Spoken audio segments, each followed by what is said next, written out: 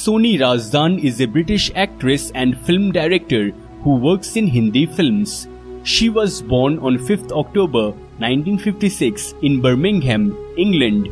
Her father Narendra Nath Razdan was an Indian Kashmiri Pandit and her mother Gertrude Hoelzer was a British German.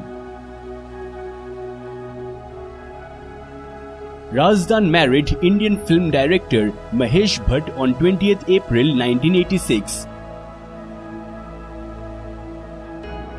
She is the mother of Shaheen Bhatt and Alia Bhatt. She is the stepmother of Pooja Bhatt and Rahul Bhatt.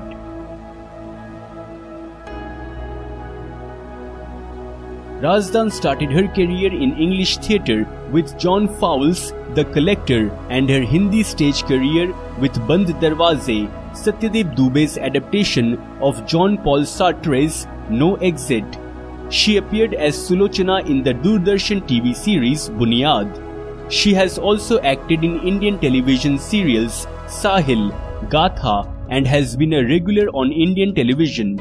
In 2002, she turned to direction with Aur Phir Ek Din on Star Plus, a take-off on One Fine Day, starring Michelle Pfeiffer and George Clooney. She has also acted in Bollywood movies.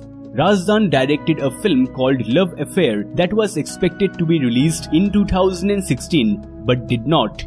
She acted in Meghna Gulzar's Raazi, which also starred her daughter Alia in the lead role. This was the first time when she shared the screen with Alia where she played the character of Alia's mother. Soni played the lead role in the film Yours Truly where she portrayed the character of a lonely middle-aged government employee Mithi Kumar. She also appeared as the Imamuddin Shah's mother in the 2007 movie Dil Dosti etc. So friends, if you want to watch your favorite celebrities video, comment below and don't forget to subscribe Bollywood Gallery.